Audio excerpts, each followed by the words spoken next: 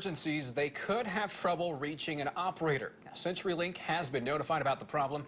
ABC 17's Dan Messineo is live right now at Joint Com with the latest. Dan, what's going on there?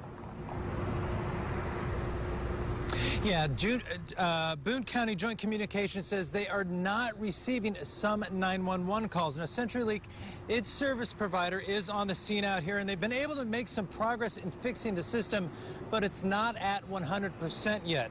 Now, officials tell us if for some reason you call 911 and cannot get through, you should call the non-emergency number at 573 442 6131.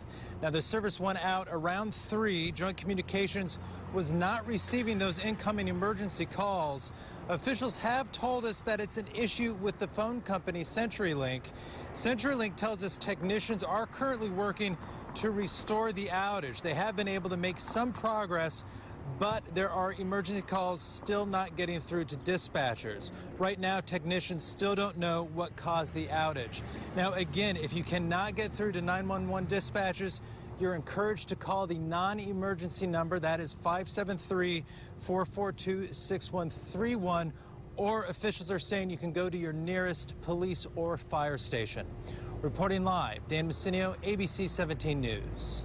Thanks, Dan. And we will stay in touch with officials tonight to find out more about the, uh, the cause and when the service is completely restored.